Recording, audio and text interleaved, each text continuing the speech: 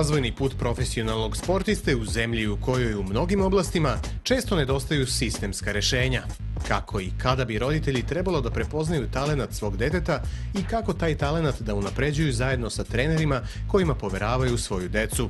Na ova i mnoga druga pitanja koja su svakodnevica mnogih roditelja, ali i mladih i profesionalnih sportista, odgovore tražimo od profesora Duška Ilića, Redovni profesor na Fakultetu sporta i fizičkog vaspitanja na predmetima biomehanika i motorna kontrola i idejni tvorac Profex Akademije zdravog života, profesor Ilić ima bogato iskustvo u radu sa već uspešnim, ali i sportistima koji su tek na početku karijere. Poslednjih 20 godina intenzivno radi u sportskoj praksi u vidu individualnih kondicioniranja i kretnih restrukturiranja vrhunskih tenisera, veslača, košarkaša, futbalera, tekvondista i drugih sportista. U poslednjih nekoliko godina angažovao ga je i Teniski savez Srbije da sprovodi, programira, kondicionira i kretno prestruktuira nekoliko naših tenisera koji se dan danas nalaze u teniskom vrhu. Kao kondicioni trener Nenada Zimonjića ima ostvareno prvo mesto na svetu za 2008. godinu godinu, što je bila i kruna mnoštva prethodnih ostvarenih Masters i Grand Slam titula u muškoj dubl konkurenciji u tenisu. Radio je i kao kondicioni trener teniske reprezentacije Srbije, koja je osvojila bronzanu medalju na olimpijskim igrama u Pekingu 2008. godine zajedno sa Novakom Đokovićem. Kao kondicioni trener bio je deo stručnog tima Milice Mandić u osvajanju zlatne medalje na olimpijskim igrama u Londonu 2012. godine. U poslednje vreme najviše radi sa našim košarkaškim reprezentativcima. Jedan je od malobrojnih naučnika koji imaju iskustvo u praksi, pa su njegovi saveti uvek dobre smernice. Profesor, za vas je mnogo iskustva i to mnogo iskustva sa vrhunskim sportistima. Ljudi često ne znaju i misle da taj uspeh u sportu dođe nekako sam od sebe. Pretpostavljam da to nije baš tako i da iza svega toga stoji jedan a, ozbiljan rad. Kako bi trebalo da izgleda razvojni put jednog sportiste? Pa u startu o, tretiranje sporta od pre 50 godina uglavnom se odnosilo na adekvatnim zadovoljstvom prema nekim telesnim užicima i stvaranje uslova da se u dovoljnoj meri oslobodi fizička energija, time nadomeste uslovi za akumulaciju mentalne energije i mentalnih sposobnosti. Danas je sport zapravo posao i to jedna mukotrpna forma koja zahteva čitav niz vrlo preciznih procedura kao i u svakom drugom poslu. Pa s tim u vezi moje iskustvo zaista jeste veliko po nekoliko osnova s jedne strane učešća na velikim svetskim takmičenjima do čitavog niza učešća sa omladinskim populacijama, mladim, dakle ljudima koji takođe podjednako traže čitav niz tretmana ne bili praktično dostigli svoj uspeh. S druge strane, on je i raširen u velikoj meri samo zato što naša institucija u pravom smislu reči Profex koja se visoko profesionalno time bavi ugostila je sportiste iz različitih oblasti, različitih domena i u tom smislu to je tražilo moj dodatni senzitivitet za svaku i najmanju sitnicu da se svakoj individu i prilagodi svaka od faza trenažnih procedura ne bili dostigli svoj vrh. I vi kad govorite o tome govorite iskustveno? Kada kažemo, kad govorimo o tome, naravno isključivo iskustveno, jer postoje one premise, one su i vladale 90. godina, kada sam ja praktično posle jako dugog boravka u Americi došao ovde u najmanju ruku u žargonu rečeno kao neki ostrašćeni ludi naučnik E, sa čitavim nizom znanja primenjenih u medicini, matematici, fizici, a sve na račun humane lokomocije, odnosno kretanja čoveka, da je to samo jedan deo jeli, tretiranja čovekovog stanja i čovekovog umenja i zapravo ni jednog trenutka nije se razmišljalo o tome koliko zapravo na, nauka vrlo eksplicitno i direktno daje praksi.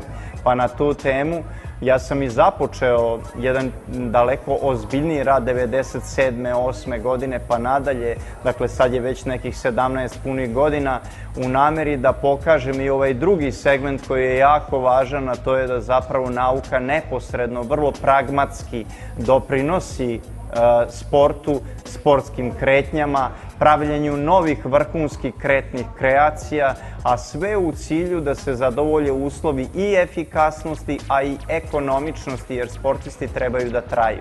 A šta je važno kada, kada počinju? Da li je važno samo to kada su počeli, da počnu što ranije? A, ili je bitnije to o čemu vi govorite, da se u razvoj sportiste ulože i neka naučna znanja? Apsolutno, jedan veliki apel u samome startu na trenere u Srbiji, jako ih je mnogo moram da iskažem jedan segment žala što zapravo taj deo a, trenerski izraženo važne populacije ne, ne pripada isključivo fakultetu sporta i fizičkog vaspitanja, ne zbog nekog monopola i ortodoksnosti koja, je, a, koja počiva na tom fakultetu, nego naprosto zbog hiperprodukcije velike količine škola koje su umeđu vremenu nastale, kroz, koje kroz kurseve daju znanja trenerima, a zapravo o čemu? Razvojna dob jednog deteta, da li je to od prve do treće, od treće do sedme, od sedme do desete godine, podrazumeva čitav niz menjanja kod deteta, s jedne strane takozvanih senzitivnih polja, šta, to deca, šta se to kod sve kod dece budi, kako deca osjećaju neke stvari, kako ih vizualizuju, kako osjećaju svojim kožnim receptorima masu predmeta, kako imaju, kakav imaju osjećaj oblika, veličine ili bilo čega drugog predmeta u prostoru. E, to je jedna vrlo jedna egzaktna forma i na tu temu jedno je kako ih oni prepoznaju, a drugo je kako njime upravljaju tokom svake od tih faza. Pa na tu temu vrlo važna stavka, evo jedan banalan primer da ću vam naprosto samo zbog toga što neke vrlo racionalni oblici razmišljanja od 10. do 12. 13. godine u razmišljanju u tom periodu deteta, uglavnom ih navodi na prve strahove, pa iz tih razloga onda ljudi vrlo onako odsječno kažu pa u redu, nema nikakvih problema, mi ćemo našu decu od drugoj, trećoj, četvrtoj godini dati na skijanje, eto ta će proskijati bez straha. U kontekstu neposjedovanja straha, to je zaista fakat da će tad im biti mnogo lakše. Međutim, jeste, međutim, postoje neke druge vrlo egzaktnije forme i norme kojima se doprinosi da bi kazali u redu. Zašto je to moguće baš da mi od 7. do 10. imamo preko 90% sportova u kojima zapravo deca započinju sa upražnjavanjem tog sporta. Jeste, upravo tako. Da li će to biti od 6. do 10. od 7. do 10. u ovom trenutku zaista nije velika greška, ali kompletno, kompletan nervni sistem završava sa svojim razvojem u svim svojim formama e, sa 90% ovaj, procenata već u toj dobi od 7. do, deve, e, do 10. Dakle, to... vrhunske rezultate ne ranije i ne kasnije. Apsolutno. S druge strane, doći u situaciju da se prebrodi jedna vrlo važna stavka, a to je da od 3. do 7 E, deca u velikoj meri izrastaju koštano i dobijaju prvi jedan mali koštani deficit gde muskulatura može zgodnije da prati e, taj razvoj. Ponovno, dakle, ne pravi ni jednu otežicu u njihovom razvoju, akumuliraju nekih fizičkih, e, fizičkih veština, nezavisno od toga da li se radi o tekvondovu, tenisu ili o nečem trećem. I iz tih razloga to je jedna dobra pogodnost. Ono što se kod dece tada naj, najviše rađa, to je akcija akceleracije u procesima takozvanog deklarativnog učenja.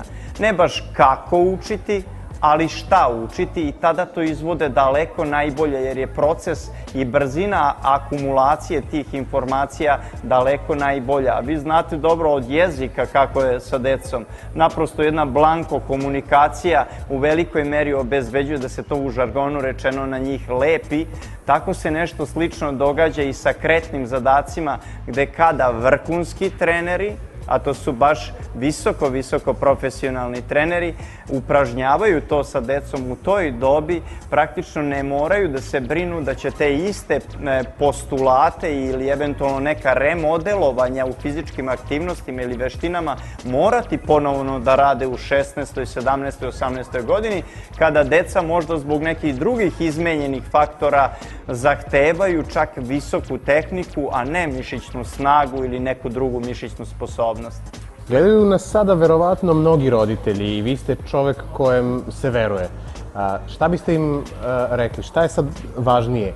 talenat njihovog deteta, a oni koji veruju u Boga misle da je on od Boga, oni koji veruju u nauku misle da je on od genetike, ali svejedno, talenat ili rad, ili ne može jedno bez drugog de facto ne može jedno bez drugog. Evo sad smo poslali jednu kratku poruku vezanu za to koliko je važno da roditelji znaju e, kome će svoje dete dati i da moraju, da oni koji će primiti njihovo dete moraju u startu na jedan visoko logičan, elaborativan način da objasne roditeljima kako će i na koji način i za kraći vremenski period i kroz neko dugo vreme sagledavajući sve faze praktično objasniti roditeljima kako će sa njihovom decom upravljati i onda s druge strane da budu izuzetno odnosni, ali tek nakon izrazito preciznih diagnostičkih procedura, da li to dete i zaista njihovo dete zaslužuje u skladu sa svim normama koje pripadaju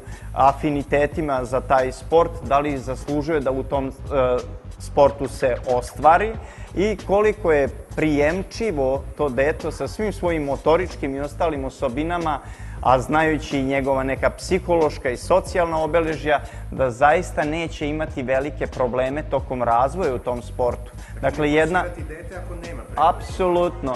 I na tu temu jedan veliki uh, detalj jeste u pitanju i ako se okvalifikuje strogo od institucija koje se time bave. Mi smo institucija koja se bavi laboratorijskom selekcijom sportista i poznati smo sa time i u svetu i naravno kod nas ne zbog toga što je upoznatost i važnost onog čime što radimo va, važna za, samo za roditelje. Ne, nego je važna i za sve institucije koje se ovim bave. I, u, uh, imamo jedan veliki ugled u tom smetu, svet, uh, svetu samo iz jednog prostog razloga jer se događa jedan vrlo bitan detalj. Uh, ne može vam svako tumačiti rezultate o vašem detetu kada, kada dođe na detaljne preglede i testiranja a kada se to učini visoko smisleno, visoko razložno, poštujući sve zakonitosti, od onih fizičkih do onih medicinskih, pa onda svih ostalih motoričkih i kretnih, pa sve do nekih e, banalnih koje e, dosežu mogućnost da se preko nekih raznoraznih modela dodatno plastično roditeljima objasni šta se sa njihovom decom događa, tek onda možemo poći u neko prvo oblikovanje deteta i stvarati ambijent da ono kroz date procedure i zaista kroz iz meseca u mesec doživljava promene u kojima je vrlo važno da ih adekvatno dožive roditelji, a onda da ih prepoznaju na jedan neostrašćen, miran, a, s druge strane, ajde da kažemo, dovoljno zainteresovan način i sama deca. Iz tih razloga, iz tih pobuda možemo po prvi put pričati o talentu koji je došao da se oblikuje i da se gradi. Kada iskopate grumen dijamanta, vi ga ne možete takvog nigde prodavati, jeli? Nismo imali priliku ni vi ni ja, ali smo čuli te priče. Tek onda slede kategorije brušenja, pa možemo na, na raznoraznim naučnim kanalima pričati o kategorijama brušenja koje doživljavaju da neko sutra priča o njihovim vrednostima. To se tako događa i u procesu rada kako sa decom, tako i sa zakasnelom decom u neadekvatnom razvoju koje su imala umeđu vremenu puno nekih grešaka, što lične prirode, što od strane njihovih trenera, kako bi kroz jedno vrhunsko brušenje, u žargonu rečeno, postigli sve faze nadoknađivanja nedostataka i stvarali sebi jedno stabilno tle da u nekoj 12. godini ili 13. ili 14. nadalje se razvijaju u vrhunske sportiste gde taj razvoj ne podrazumeva da su vrhunski u 21. već da nose sva obeležja vrhunskog sportiste u 16., 17., 18. godini, što je fakat i u našoj zemlji koja je puna i rasadnik bila, pogotovo u vreme Jugoslavije kada su u pitanju mladi sportisti, ali trenutno moram da iskažem žal kada je u pitanju uzorak i u Srbiji, jer je on naprosto zbog naše, naše količine uopšte ljudi koji živi u Srbiji smanjen i na tu temu trebamo da obratimo pažnju da mi jesmo sportska nacija, ali da imamo sve manji i manji uzorak i da, na njega, da o njemu moramo voditi veliku brigu jer gubitak jednog takvog talenta u velikoj meri znači. Rezultat toga jeste jako mali broj izrazio bi se baš na taj način prodatih igrača u futbalu. Jako mali broj i na ovom prvenstvu koje je bilo sjajno pod rukovodstvom vrhunskog trenera u košarci nismo imali ni jednog igrača koji je mogao slobodno da probija. To je jedno vrlo opasno stanje za takozvanu nepredvidivost u igri.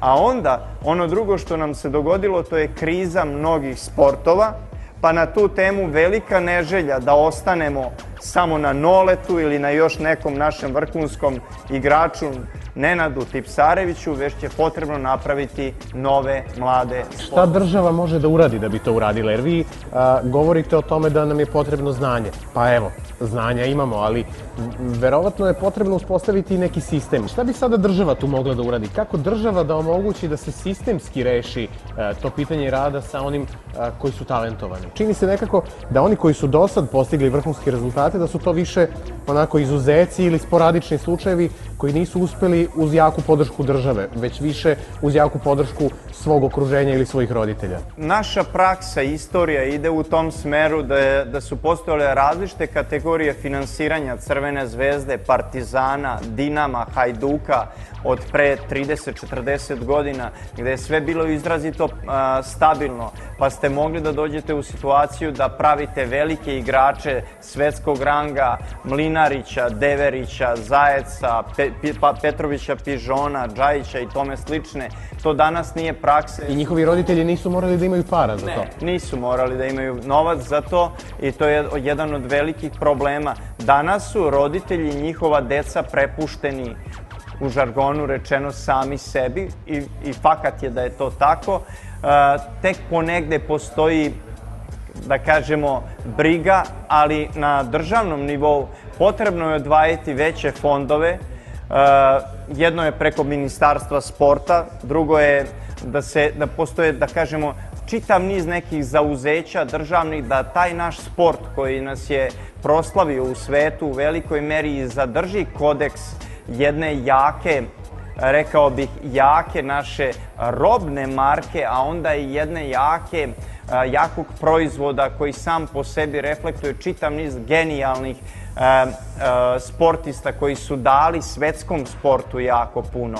Pa na tu temu da ne bismo otišli daleko, ta postojbina ozbiljnog rada mora biti na platformi. Platformu pravi država, ali prepoznavanjem vrhunskih ljudi koji se isključivo bave tehnologijom trenažnih procedura, dakle razvojnim karakteristikama prevashodno dece, u onom smislu što će im obezbediti sve kategorije dobrih oseta, prefinjenih osjećaja, a s jedne strane i prefinjenih kretnji i pokreta s druge strane, a onda s treće strane davati uslove da se ta deca nutritivno, vrhunski razvijaju. Znate, država mora da prati ljude koji se time ozbiljno bave i da im daje vetar u leđa, jer trenažna populacija pravi sportsku populaciju i obrnuto trenažna populacija uništava sportsku populaciju ako to nije na vrhunskom nivou, već je sa čitavom nizom propratnih grešaka. Rekao bih vam nešto, pre 5-6 godina, možda čak i više, prvi put je išao apel i u Srbiji, bez obzira što imamo izrazito veliku populaciju vrhunskih hirurga u Srbiji, sjajnih, da je bilo čitav niz i problema. Znate, u medicinskom svetu vrlo brzo se prepozna da li, ima, da li ste napravili grešku. U, kada je u pitanju sport, kad je u pitanju trenažna procedura, sudski, sudska medicina nema pravi svoj efekat i apelovao bih u tom smeru da država jako povede račun kako će delegirati nove ljude koji se time vrhunski bave, da bi obezbedili uslove da na egzaktan način pristupe svim trenažnim procesima, jer oni tretiraju naše srce, naša pluća, naš koštano-zglobni aparat, jer u našoj praksi i ovde koju mi radimo kao institucija koja se najozbiljnije time bavi, bar na području Balkana i šire, praktično mi smo prvi koji smo svedoci čitavog niza pro, promena ružnih koja su se na deci tokom faze razvoja dogodila, gde su dva smera išla. Jedno je da je to sama sportska praksa i sport učinio da su se deca deformisala, pogotovo i jeste, pogotovo u asimetričnim sportovima gde se na, jed, na primjer jednom rukom samo drži reket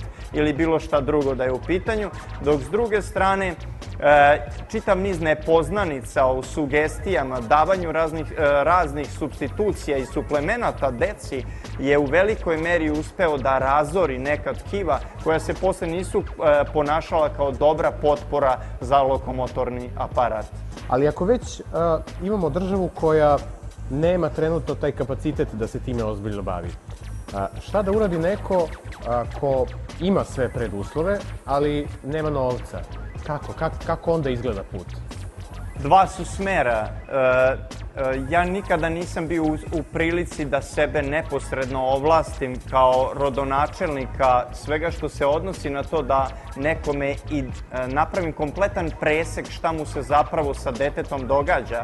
Ali poverenje koje sam trenutno doživeo u Srbiji, a i šire, u kompletno zemljama u okruženju, jer sa mnogima sarađujemo i vani naše zemlje, praktično e, mogao bih sa nekom velikom slobodom, jer je spontanost učinila dovoljno da ljudi znajući gde da se obrate, obraćaju mi se u velikoj meri praktično i dobijaju egzaktna egzaktne informacije o svome detetu. Kada se to događalo u Srbiji, a dogodilo se već nekoliko puta, praktično mogli smo u velikoj meri da napišemo jake, što bi rekli anglosaksonci, provemente ili jako snažne izveštaje kojima smo praktično s jedne strane napravili izveštaj, s druge strane već preporuku za pojedine koji bi se mogli nazvati i sponzorima ne bili to, tim ljudima, odnosno tim roditeljima i njihove deci pomogli.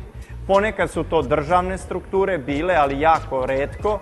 I s druge strane, sponzori koji su u tome svemu videli veliki kvalitet i pokušali za, u sadejstvu sa nama da praktično obezbedimo neko novo, bolje stanje deteta i da to pratimo i da nijednog trenutka nam to ne izađe van kontrole, To je dosadašnje moje iskustvo i pokazalo se praktično sledeće. Da ako negde imate izuzetan talenat i izuzetnu vrednoću i usmerenost, Mi smo ovde bili prvi koji smo mnogima obezbeđivali besplatan angažman samo da bi pokazali koliko zapravo jedna humana priča ako traje i nosi e, sve aspekte profesionalnosti, s jedne strane napravit će neko novo stanje posle kojeg će ipak imati interesenata, jer naprosto tako, tako smo se podelili u poslednjih 20 godina da entuzijazam nije dovoljan da, bi, da, bi, da bismo išli napred. Naravno, posle nekog nivoa kada se zaista prepozna vrhunska sposobnost, mnogi su tu sa tim roditeljima razgovarali i dolazili u stanju, naravno naši ljudi, naši humani ljudi ili ljudi koji su u tome osetili mogućnost nekog kvalitetnog e, proizvoda i praktično nadalje nastavljali zajedničku saradnju. S druge strane, sasvim je logično da takva stvar ne bude čak ni prepuštana individualcima, već to da, da se e, svojom decom e, bavi njihova država i, obe, i da to sistemski reši i da taj deo borbe za talente bude jedan, jedna grčevita borba, a s druge strane visoko kontrolisana i profesionalna borba. A sad pomenuli ste u jednom trenutku uh, reč sponzori i sad dok uh, u svetu sportisti zarađuju milione i bukvalno su zvezde, mi imamo mnogo slučajeva da vrhunski sportisti koji postižu vrhunske rezultate a, čak plaćaju da treniraju ili, ili, ili rade, odnosno a, nastupaju samo da bi dobili opremu. A, kako to da se reši? Od, odakle se sad počinje? Da li i to na državi? Ili, ili to mora da sačeka da se prosto naša ekonomija nekako oporavi? A, ja, ja moram da priznam veliki apel, velika želja da nam se ekonomija bezuslovno oporavi. Naravno da to, za to je potrebno vreme e, i svi smo toga svesni. E, na prošloj olimpijadi kada sam sa gospodinom Šapićem razgovarao na to temu, e, na njegovu inicijativu, budući da je u meni video sagovornika koji je mnogo toga mogao da, mogao da ga nauči, bez obzira što je on bio vrhunski vaterpolista tog vremena, Uh, iskazao mi je veliku žal jer je osetio da će sve manje biti gledalaca na vaterpolo mečevima. Čak je u jednom trenutku rekao, e, ko zna kome ćemo mi više kao takvi trebati. E, bez obzira na to što je video da, i, da se to slično događa na mnogim drugim e, sportovima, a pre nekoliko dana, posle toliko vremena vraćeno mi je sećanje, mada kroz čitav taj period je bilo mnogo takvih e, i sličnih reakcija, od Janka Tipsarevića koji se kod nas ovde uspešno oporavlja od 40 dana i praktično iskazao je takođe žal da tenis ako ne učini nešto novo u tom smeru imaće, bez obzira na tu mašineriju koju ATP u ovom trenutku posjeduje, imaće čitav niz problema. Dosadašnja moja konvencionalna iskustva išla su u tom smeru da ljudi dolaze na, na raznorazne mečeve ili na raz, razna borilišta i da gledaju, prate odgovarajuće sportove, taman onoliko koliko obezbeđuje kvalitet toga sporta i da je to jedino čime se mogu braniti. E, naravno, vrlo važna stavka u svemu tome i jeste bila što sport isto kao i ekonomija ne može da preko noći izrasta u ovaj, u neke nove aspekte. Ne mogu se mnogi detalji menjati tek tako, pogotovo kada je u pitanju, kad su u pitanju ekstremno eksplozivni sportovi u kojima čitav oblik finti takozvanih u žargonu sportskom prevara ili e, raznih oblika aktivnosti koje čine nešto novo, e, neverovatno, što nam se događa svake godine, samo jedna ili dve tehnike u NBA-u i ništa više od toga, praktično došli smo u jedno vrlo nezavidno stanje da, kako bi se reklo, publika je to već videla.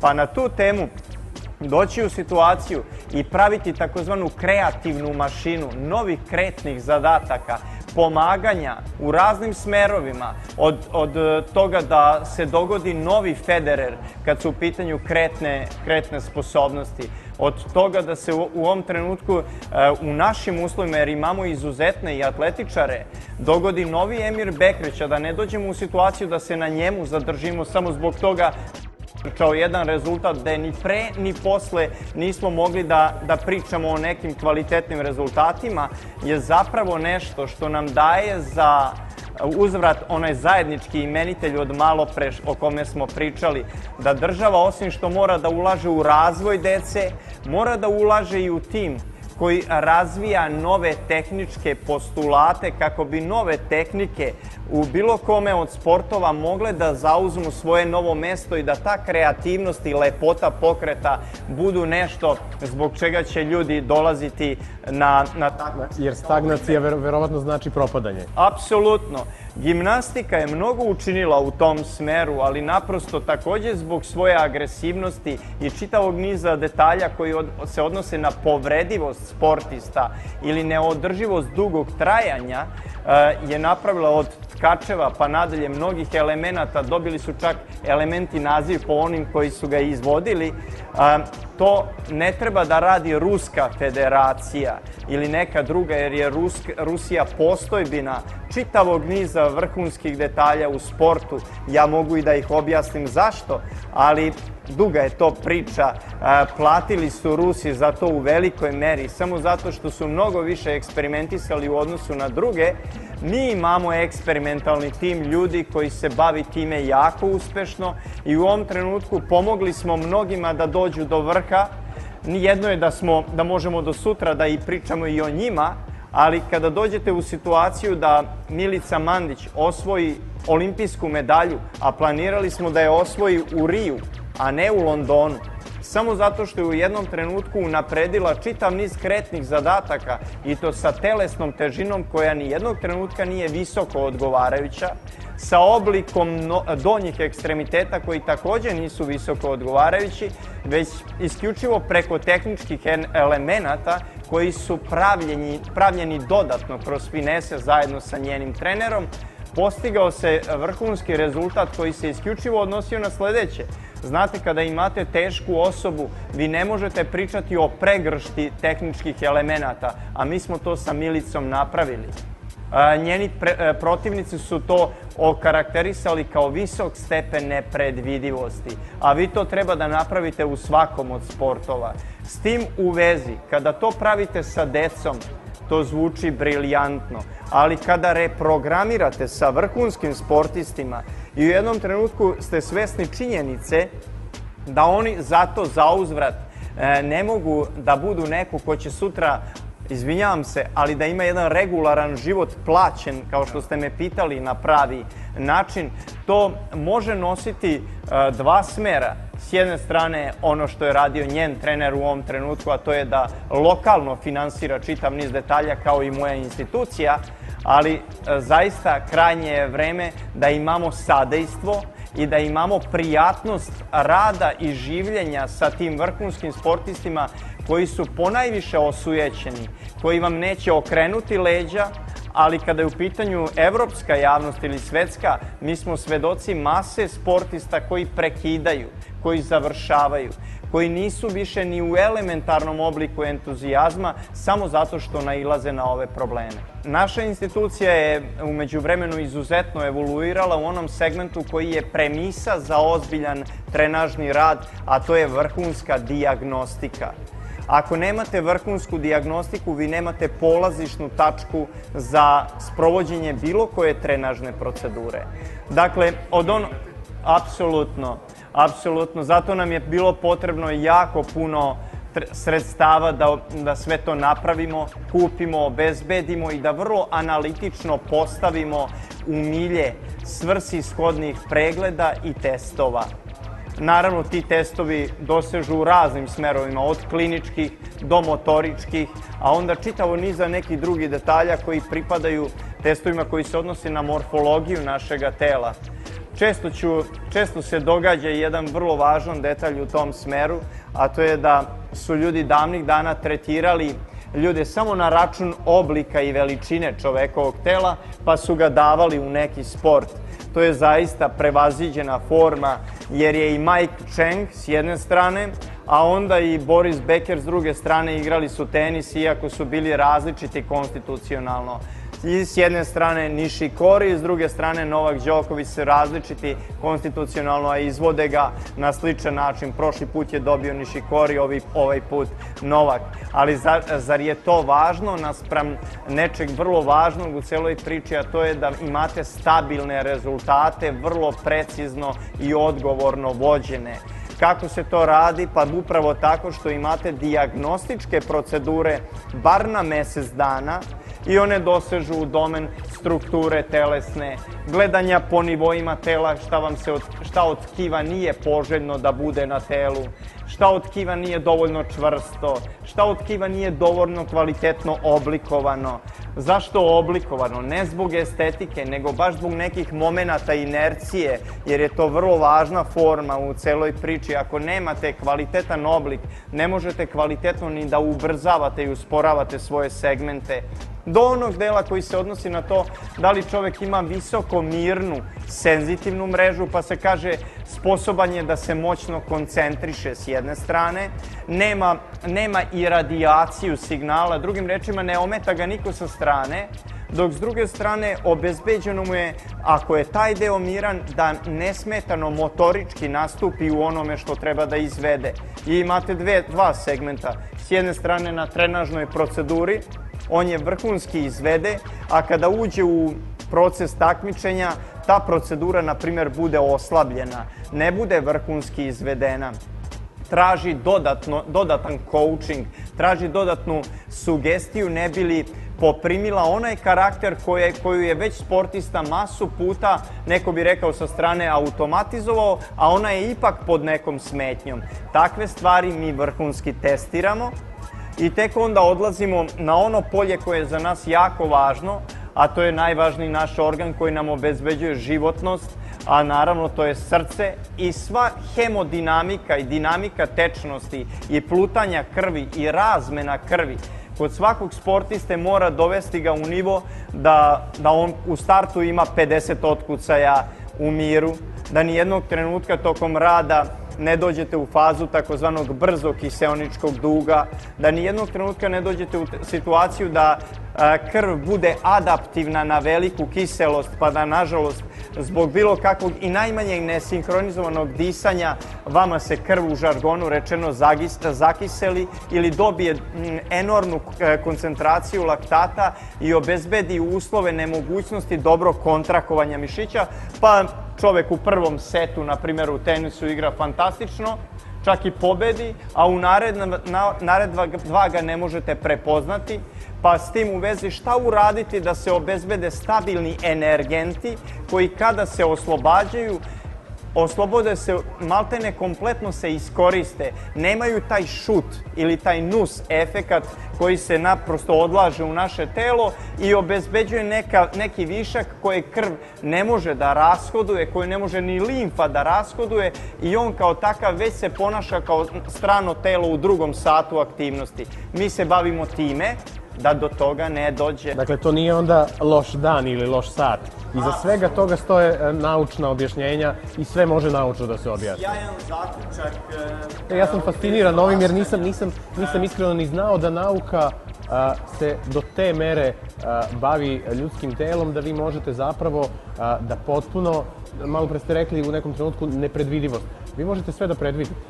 Apsolutno, zar je moguće da, e, da niko ne može da predvidi e, kretanje loptice kada je Raonić evo na, na jučerašnjem meču servirao Đokoviću, a to je Đokoviću bezuslovno uspelo. Ne zato što on važi kao jedini uspeli reternista visokoga nivoa, kao da to nikada nije bio Federer, naravno da je bio i nije, nisu u pitanju Federerove godine, nego čitav niz trenutno lokalnih zamora koji su učinili da nije mogao dovoljno kvalitetno da reaguje, jer i Federer ima visoku percepciju, radi se upravo o nečem drugom. Raonić je taj koji nije mogao Novakovu nepredvidivost u proceni riterna da oseti da će biti tog nivoa, pa je gubio mečeve. Bio je jako usmeren na servise, nije bio usmeren na ostatak kretnih zadataka koji su se odnosili na pokrete sa osnovne linije. Jer Raonić ni sa osnovne linije nije loš igrač, već je jednostavno izostao taj taj segment u kome se prenuo na svaku od uspešno vraćenih Novakovih reterna, što je takođe jedan od segmenata koji doprinosi. Ali da to ne bi bio samo, e, da to ne bi bio samo e, tenis, vrlo je važno nešto drugo. Napomenuo sam vam vrlo važnu stavku, pa upravo američki NBA igrači su ti koji probijaju sa dve, tri lažne kretnje i obezbeđuju uslove nesmetanog ulaska i polaganja lopte. To u finalu prethodnog prvenstva nisu učinili dva put. Polazili su pa su se vraćali i dali su nam 30 trojki u žargonu rečeno. A to je vrlo važna stavka, dakle bili su nepredvidivi. E, mi smo se postavljali na njihove ulaze, a oni su se vraćali i davali nam trojke. A to je bilo upravo naše oružje koje nismo mogli da upotrebimo, a moram da vam kažem i zašto. Ponovno je nauka odigrala svoje.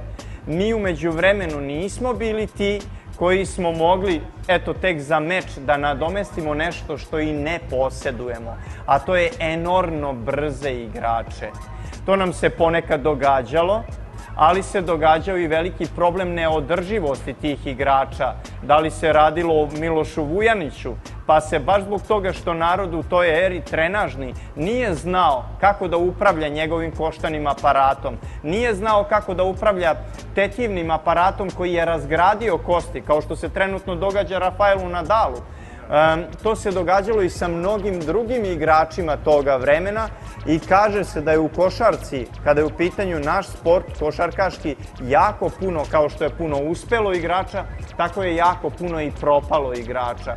I na tu temu moramo voditi brigu o našim sportistima, da li je to košarka ili neka druga, da dočekaju kao 18-godišnjaci izrazito zdravi, da bi u jednom trenutku nesmetano nadalje gradili sebe neposredno u tim sportskim aktivnostima i nadograđivali nepredvidivost koja se isključivo motorički nadograđuje i pravi nešto što nam je ostalo u samo u sećanjima Dražena Petrovića, koji ni jednog trenutka nije ni posjedovao veliku brzinu, a davao nam je sva zadovoljstva koja su bila prisutna, ili nekog ko će biti velika naša, možda i jedina legenda nepredvidivosti, a nikakvih enormnih motoričkih sposobnosti, a pripada Dejanu Bodirogi, koji praktično je obezbedio uslove da li će proći, da li će asistirati, da li će šutnuti. Upravo je bio mehanizam postavke i takozvanih priprema za izvođenje i egzekuciju koju mi u Srbiji ne učimo po svim standardnim kodeksima koji pripadaju i ovoj instituciji da nauči nekoga tome, a tek onda da pristupe e, dobroj saradnji u onim sportovima u kojima je to neophodno i da često kada ih neko čak u raznim opcijama kad se navikne na njihove pokrete dođe po novu, nov konglomerat novih pokreta kako bi ponovno za neku nijansu bio nepredvidiv i da praktično bude enigma jer naš uzorak kojeg mi imamo, e, mlad uzorak je visoko kreativan, ja bih često voleo da kažem fantazerski, najveći broj fantazera u jednom trenutku samo zato što veruju jednoj ili dvama osobama, nažalost ostanu oskudni, pa posle kako uzme vreme izgube se. Zato je važno da država preusmeri ljude na one koji se time egzaktno bave i koji će sve vreme imati odgovornost za tim bavljenjem, a da ne dođemo u situaciju da posle jedne količine izvora koje neko sadrži u sebi, čovek na tome ostane i ne bude u opciji da nikada više uh, bude, ajmo da kažemo, i nadalje razvijan. Reći ću vam nešto banalno. Ostalo je da je Sale Đorđević izvodio skok šuteve u stranu, da je Jordan se vraćao nazad, da je Rakočević isključivo izbacivo loptu napred, ali kad uzmete poslednje u nizu Rakočevićeve e, igre zadnjih pet godina, mi smo sa njim radili nekoliko poslednjih godine i održavali ga po raznim osnovama da sa ovom mladeži igra vrhunsku, brzu košarku. To smo remodelovali, pa je vrlo važno za nas Često su mu ljudi, baš zbog njegovog ulaska napred, ulazili u putanju pa je se ostvarivao kontrafaul. To se, na, to se pobedilo. Pa je na tu temu vrlo važno nešto drugo moraju svi da imaju u raznim klubovima, a onda nadalje dovoljno ozbiljne škole, da su sve vreme u raznim dobrim interakcijama prema onima koje država odredi da budu supervizori vrhunskog i fizičkog i koordinacijskog izgrađivanja i onda ćemo zajedno kao institucija ići napred. Možda će se tek onda nekome učiniti da je sport ekonomija.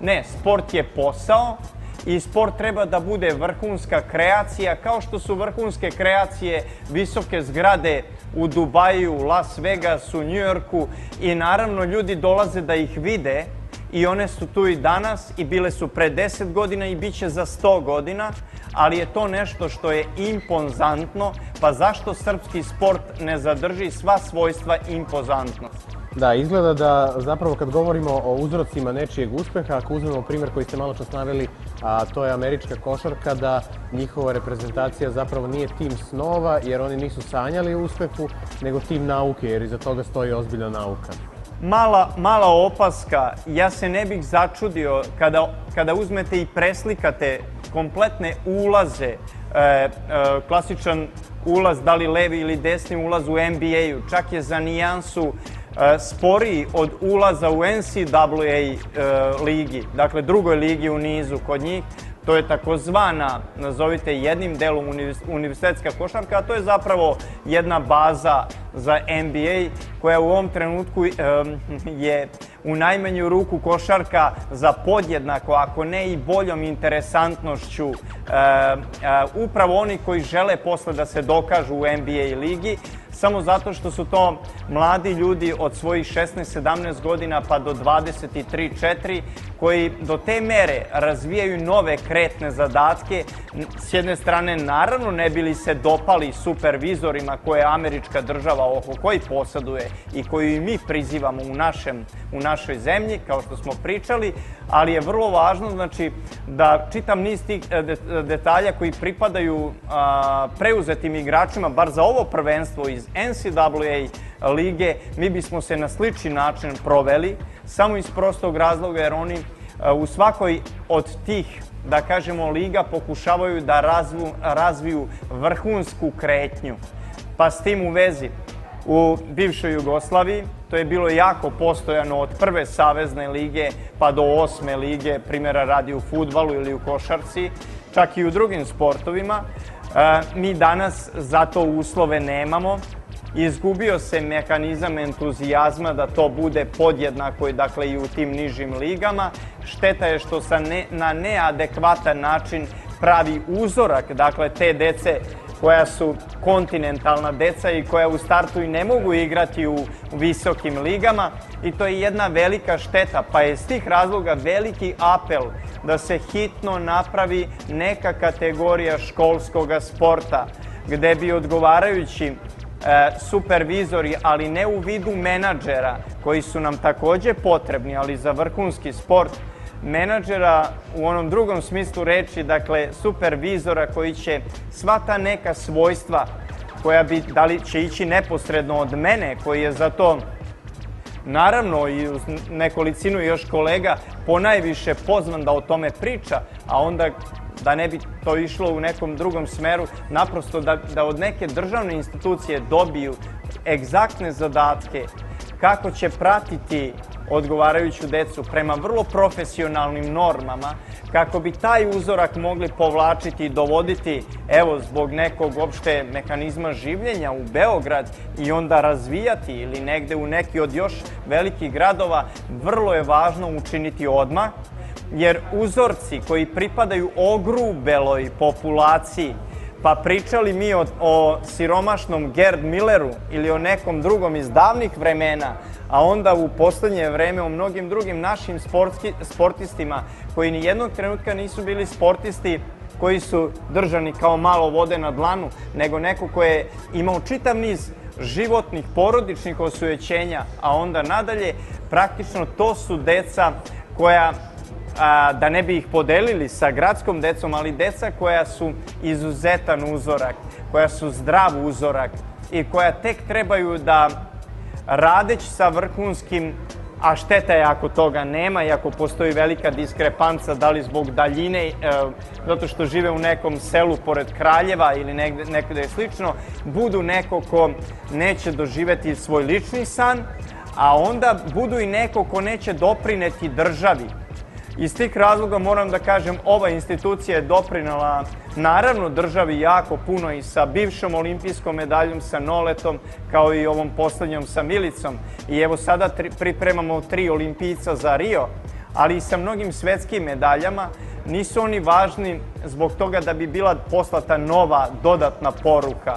Mi u ovom trenutku svetskog prvaka u tekvondovu Tijanu Bogdanović i spremamo da ona kao takva bude dovoljno spremna u seniorskom timu za Rio, ne skrivajući želju da olimpijsku medalju Milica odbrani, upravo zato što na mlađima svet ostaje i da sva ta zadovoljstva koje u ovom trenutku su imali mnogi stari košarkaši, jer ovde su prošli mnogi, Micov, Rakočević, Zoroski i mnogi drugi koji su doživeli lepotu pokreta i znanja i umenja i u poznoj dobi pređe na ove koji su između 20 i 30 godina, ali sva sreća i zadovoljstvo mora pripadati i onim koji su to započeli, ne dižući ih u zvezde, nego ih e, sve vreme brušeć taman tako da znaju gde im je mesto i obezbeđujući uslove da visoko disciplinovano se odnose prema sportu i da sve vreme potajno i u svojoj kući na jastuku drže zadovoljstvo svojih sposobnosti. Za kraj sam hteo samo da vas pitam još jednu stvar. E, tokom ovog razgovora ste pomenuli mnoga imena. Nedavno ste bili na US Openu, ali na koga ste ovih dana posebno ponosni? Mnogi sportisti su prošli ovde, koga uživo ili na televiziji gledate sa posebnim ponosom? Pa, bezuslovno je da smo sve vreme ponosni na Noleta i sve ono što je učinio na, na poslednjem turniru u Bersiju. Ja sam imao tu to zadovoljstvo da smo takođe uzeli trofej u Bersiju dok sam bio trener Nenada Zimovića te godine i bili prvaci sveta i prvaci Mastersa, ali e, da bih razdvojio, odlazio sam na US Open iz mnogo razloga.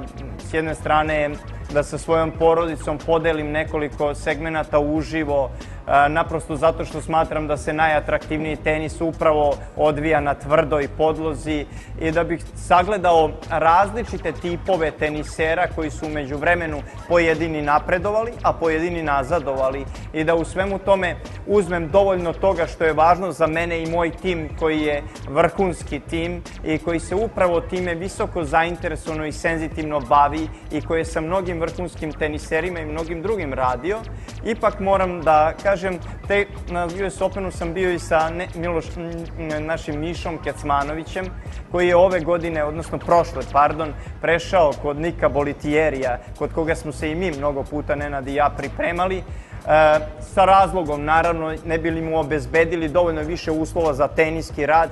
Mi smo ga u sedam punih godina izgrađivali u Profeksu On je u jednom trenutku izašao vrhunskog tenisera, igrao je, ovaj, otišao sam da ga pogledam, igrao je ovog puta u kvalifikacijama do 18 godina a, tenis tamo, bio je jako dobar. Naravno, od njega očekujemo puno u budućnosti, ali očekujemo i od njega i od njegove okoline, kao i od okoline svih drugih naših sportista i mladih, a i ovih starijih, da mnogo učine na tome da vrlo selektivno razmišljaju kako su vođeni, kakve mane imaju i da se stalno presabiraju.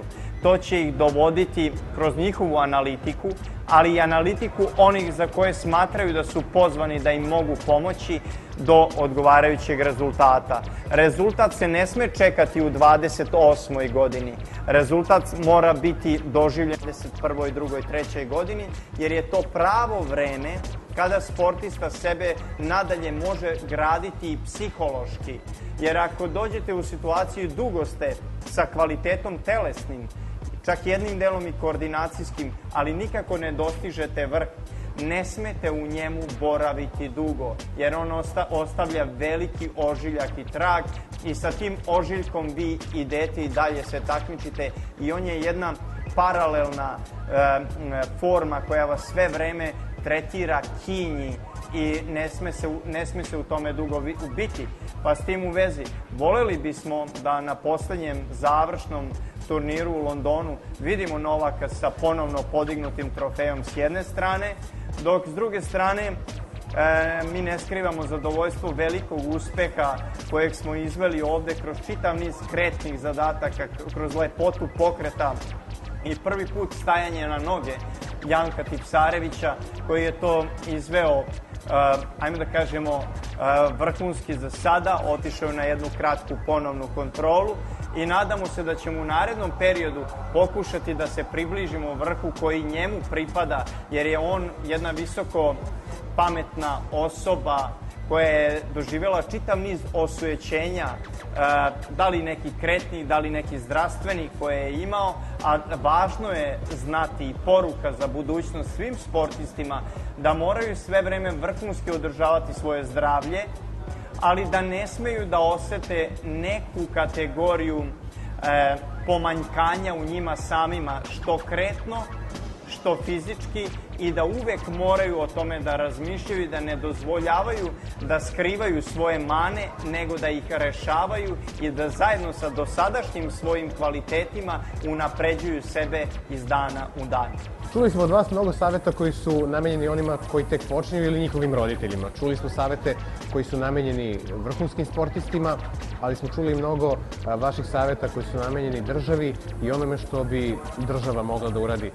Nadajmo se da će vas svi oni čuti ili zašto ne da ćete vi biti u prilici da više odlučujete o razvoju sporta u Srbiji. Hvala vam mnogo za ovaj razgovor. Hvala vama i pozdrav vašim gledalcima. Hvala.